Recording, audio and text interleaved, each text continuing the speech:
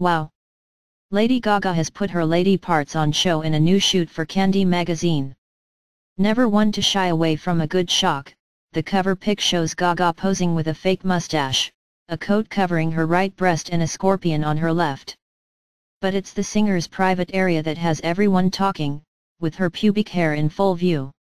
Candy magazine celebrates androgynous style and describes itself as the first transversal style magazine. While there's been no comment on the image from Mother Monster herself, her critics certainly have a lot to say about it.